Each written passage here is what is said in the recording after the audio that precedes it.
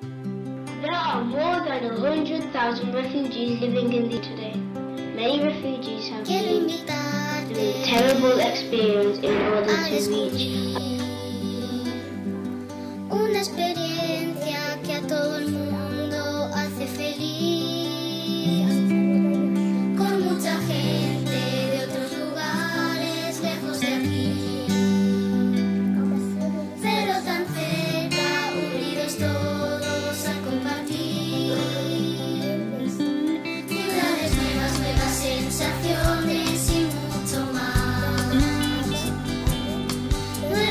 Nuevas culturas te va a gustar.